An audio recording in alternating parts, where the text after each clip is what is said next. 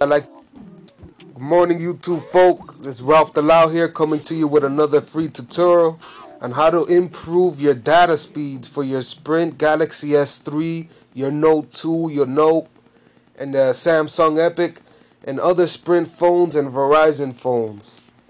So what you're going to want to do is go to the link down below and download this app called Android Data Tools.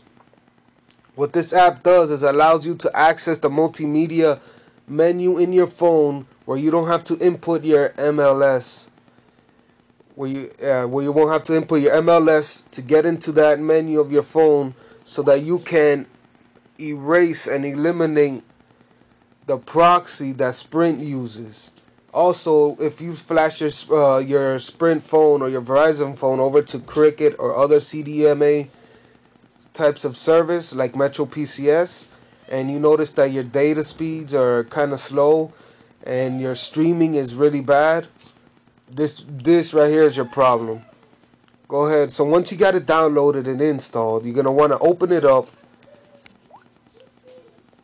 You're to want to open it up, hit the open multimedia menu and just go through each one, erase and just put in what you see here on the screen.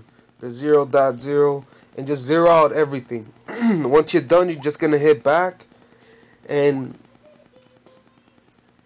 and your data speed should be increased. You shouldn't have to restart the phone, but me, I like to restart it just to reestablish that connection, and just to basically start fresh. All right, guys. So there goes your another free tutorial.